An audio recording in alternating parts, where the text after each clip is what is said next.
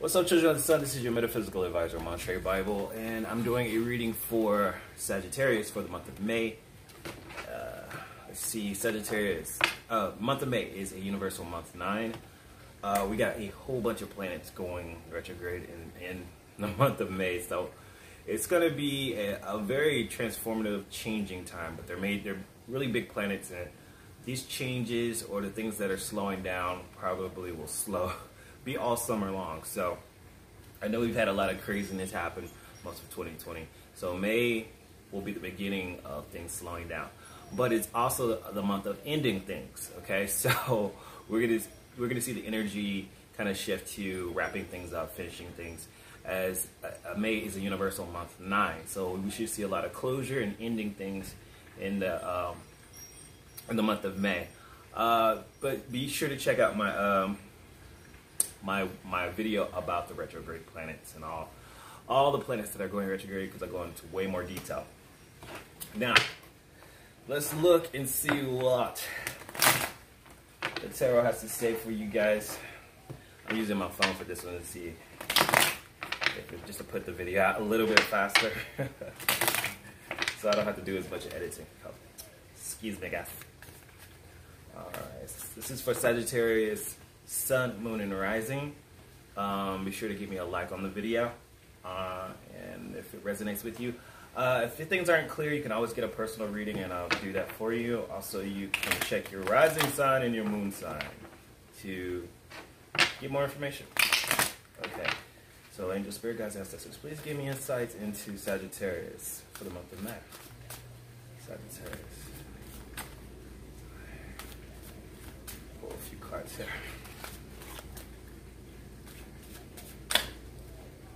Okay.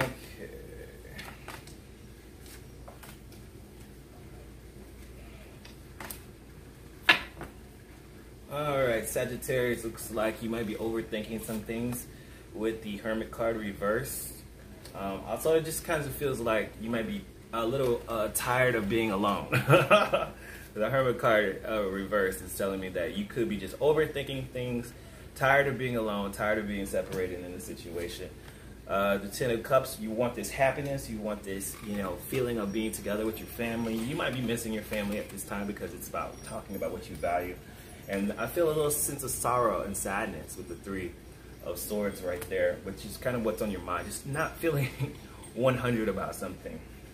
We do have the Ten of, the, the 10, the King of Cups, he's in the fourth house position, offering you love and support. So there could be someone in your life or it could be your energy, doesn't matter, but it could be the Ten of Cups, not the Ten, got the Ten of Cups on my mind. The Ten of Cups is here, but the King of Cups uh, could be a father figure in your life, uh, someone who is loving and mature and very emotionally stable, and they bring you a sense of stability. Also, it could be uh, just your energy as well. But let's look a little more into that.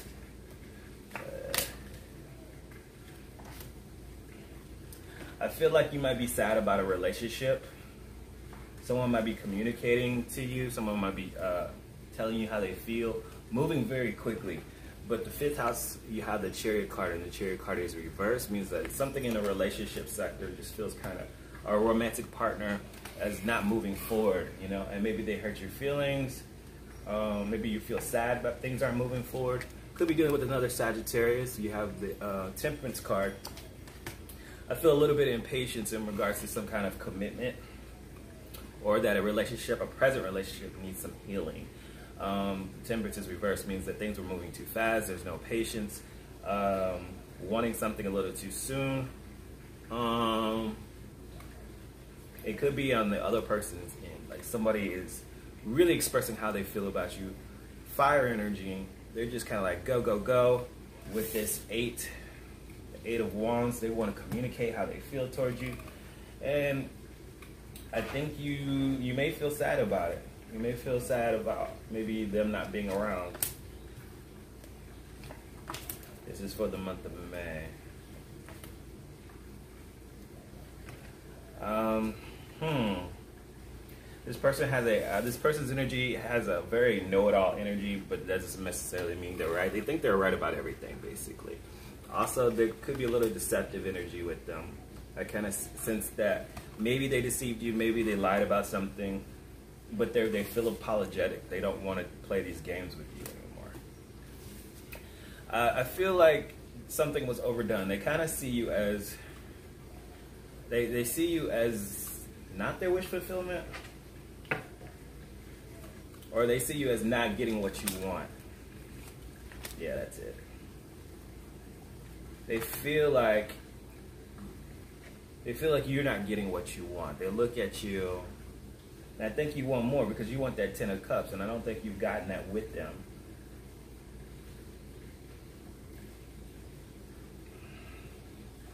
And you want them to come back into your life. The eight of cups. You want them to, or you might desire to come back into their life. Sagittarius.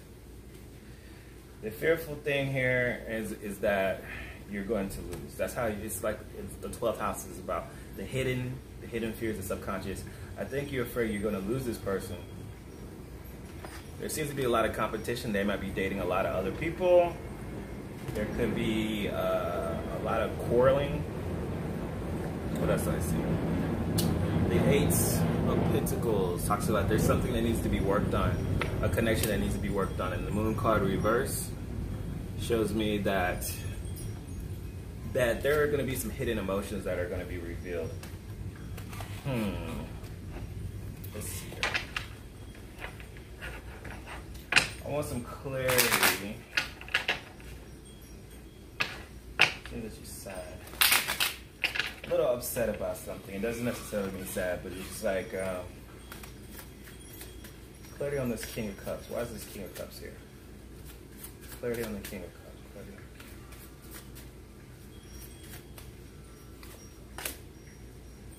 Yeah, this could be someone that you feel very stable with. Is with the four of staffs here. This is somebody you want to be happy with, but you don't have a commitment with them. This is somebody you want a relationship with. Um, I don't see anything really wrong with the person. It's just that you guys don't have this happiness. You have potential to have a relationship with them, but you don't have it. Hmm. Clarity on the Three of Swords. What is the Three of Swords? Clarity on the Three of Swords.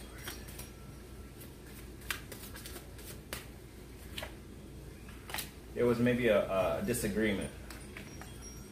A five of five of swords and the three of swords are popping up. It could have been a past disagreement, and you guys you've gotten over it, and you want to you want to communicate. This is somebody also wanting to win at all cost, no matter what. I see this just some quarreling. That's the second time fives came up. Clarify the temperance card. Clarify the temperance card. I want to see why is the temperance card here? There's still hope for this relationship. There just needs to be some healing. The hope card, the star card, temperance. There's still some hope there. You guys need to be patient. Or the other person needs to be patient. I got this little light on and it's making me hot. Lord have mercy. Eight of wands. What's the eight of wands here? Why are they moving so fast? Okay, so eight transformation. They're getting out of their own way. They've been thinking about this a lot. Okay, they want to communicate something. Something that's been blocking them. It looks like they're trying clarify the page. They seem to be apologetic. I think they maybe hurt your feelings, and now they're making they're feeling regretful, or they have hurt your feelings. Yeah, they were really worried about it. They were worried about hurting you. The Nine of Swords. But they're kind of getting over that too. They're getting over of the stress. They were feeling worried that you maybe you guys weren't going to be together. They've probably been spying on you. They kind of got this know-it-all attitude. Cliff. So I see them wanting to come back. I see, man, that's been almost everybody's reading. Somebody, somebody wants to come back all the time. Clarify the eight of cups the cups. This one, okay. Yeah, they're very dependent on you. They're very dependent on you. It's like a codependency. They don't want to be single or you don't want to be single, and you want, and you might come back to them. But they didn't give you what you want. Clarify these six of wands. Yeah, this person makes you happy. You're not gonna get past this. you don't want to lose because, or the, and maybe their energy too. They've been thinking about you. They don't want to lose. They don't want to lose you. Clarify the five of wands.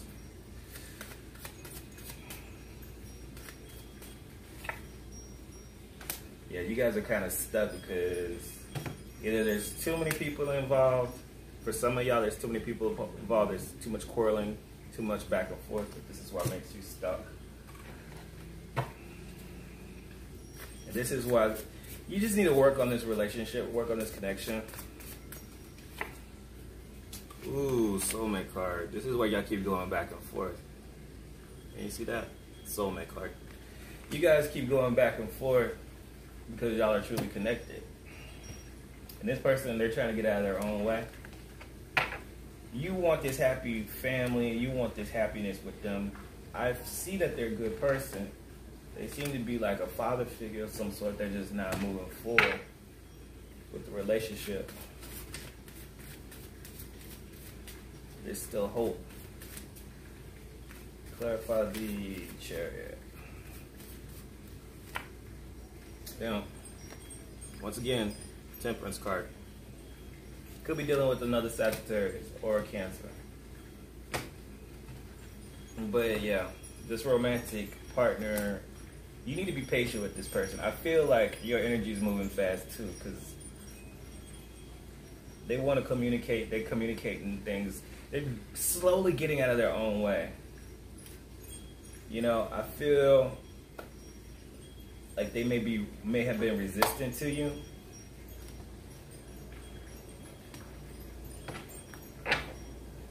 Yeah. You value family you value this person and you weren't getting what you want, and they know that you weren't getting what you want. Clarify that nine of cups. This is a karmic relationship. This is a karmic relationship between the justice card. Also, you some of y'all might be dealing with some legal issues.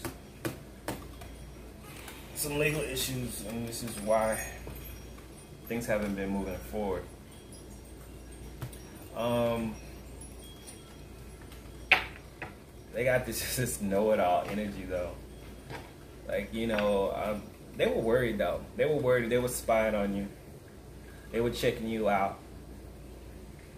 I feel like yeah, you walked off, but you came back, or you're going to go back. They want you back, but somebody's very dependent on your energy. The thing is, you make them happy. Yep. What else can I see? But y'all just need to work on this connection. There's some. There's to be some more things that you're to be revealed to you in the month of May about this, about their emotions and how they feel. So just be looking for that. You guys have a good connection. It's, I don't see what the problem is. I think it's just some fighting some petty fights about maybe the connection. Wait, let me get a clarity on that. Let's see, where would that be at? Probably here. Clarify that Seven of Swords. Clarify the Seven of Swords.